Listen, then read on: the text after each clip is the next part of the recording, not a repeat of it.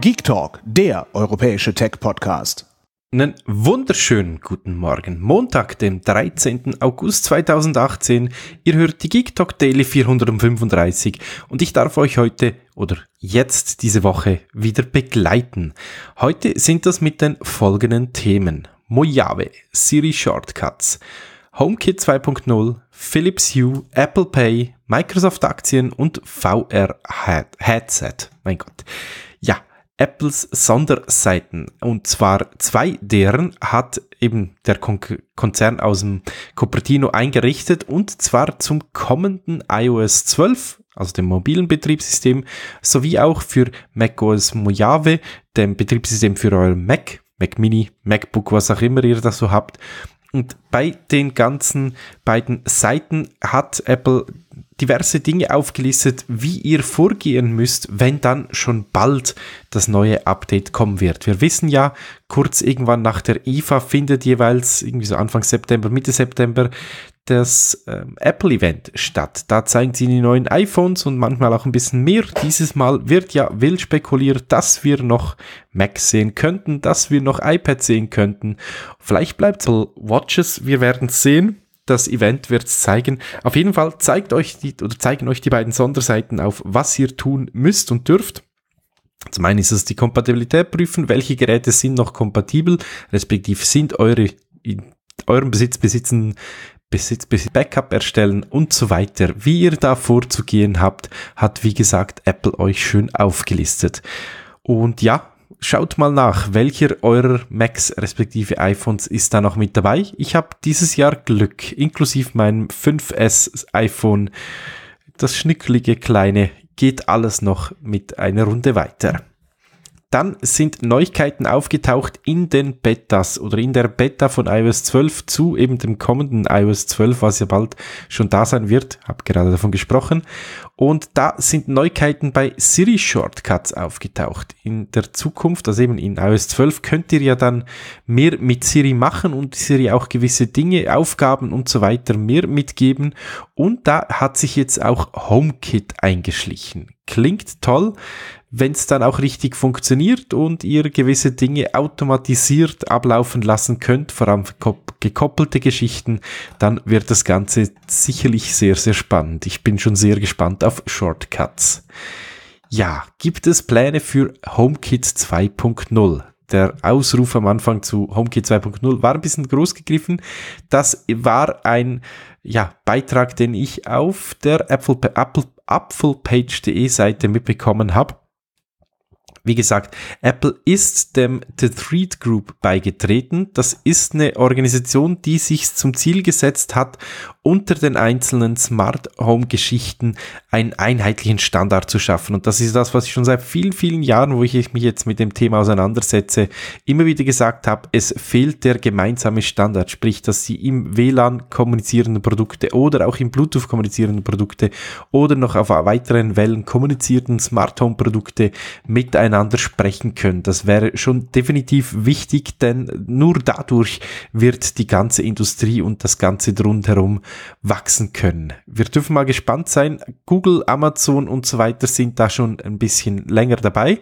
Jetzt ist Apple auch noch reingegangen und die, ja, wie sagt man so schön, die Hoffnung stirbt zuletzt. Wir dürfen nur abwarten und äh, ja, sehen dann, wohin uns das Ganze trägt. Ein bisschen Licht wollte Philips reinbringen und wie schon Anfangsjahr angekündigt, gibt es in diesem Jahr einiges Neues an Produkten.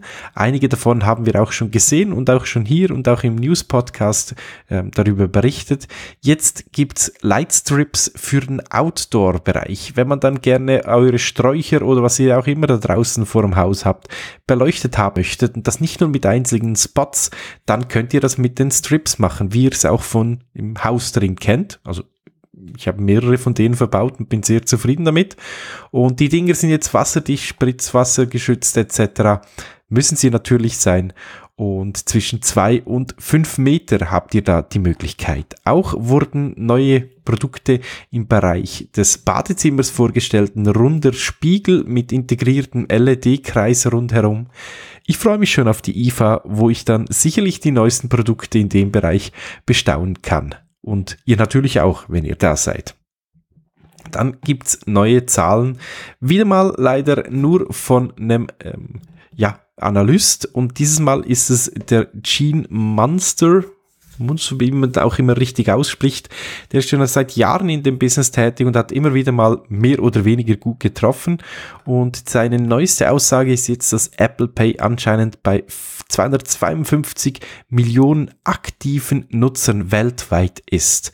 Das ist, wäre ein Plus von 25 Prozent im Vergleich zum letzten Jahr, was somit auch heißen würde, dass rund 31 Prozent der aktiven iPhone-Geräte, die so rumschwirren auf diesem Planeten, mit Apple Pay ausgestattet sind, die es auch regelmäßig nutzen. Das wäre ja eine wunderschöne Zahl, wenn das in den Bereich geht und dürfte hoffentlich der ein oder anderen Bank auch mal hier in der Schweiz, aber auch in Deutschland, wo es bald starten wird und natürlich auch in Österreich ein bisschen zum Grübeln geben.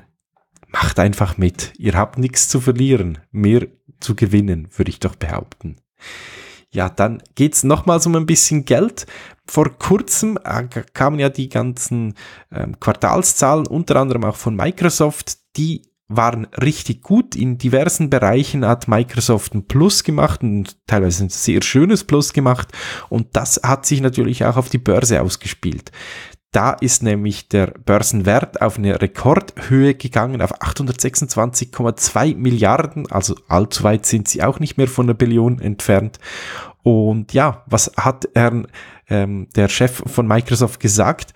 Ja, er möchte einen Großteil seiner Aktien verkaufen. Das Ganze ist jetzt wie teilweise halt Sommerloch von einigen aufgenommen, nicht aufgrund eben dieses Höchststands vom Aktienkurs geschehen, sondern das ist ein Plan, der schon länger angetreten ist, wie es immer so ist, wenn man ähm, irgendwo CEO wird oder vielfach so ist, wenn man CEO wird, gibt es da gewisse Verknüpfungen und Möglichkeiten und auch beim Lohn, die dann über die Zeit ausbezahlt werden. Und anscheinend ist jetzt mal so weit, dass eben einiges an den Aktienanteilen verflüssigt werden dürfen. Somit, liebe Investoren, müsst nicht gleich zittern. Microsoft geht es ziemlich gut, wie man so sehen kann. Die Nintendo Switch. Da ist im letzten Jahr schon mal was aufgetaucht und jetzt soll es wieder passiert sein. Eine versteckte Funktion, bei der es um den Bereich VR geht. Das nährt natürlich den Gerüchteboden ganz stark und es ist wieder mal zu, äh, ja, man liest wieder mal überall ein bisschen davon, dass anscheinend Nintendo auch einem VR-Headset am Arbeiten ist. Wenn es soweit ist, keine Ahnung. Wie gesagt, ist ein kleiner ähm, ja, Code-Teil, der dazu aufgetaucht ist. Wir dürfen gespannt sein und ich denke, vor der nächsten E3 werden wir dazu eh nicht allzu viel erfahren. Wenn schon, wäre es ja nicht schlecht. Weihnachten steht ja auch schon wieder bald vor der Tür. Das waren die News, die ich heute für den Montag habe zusammentragen können.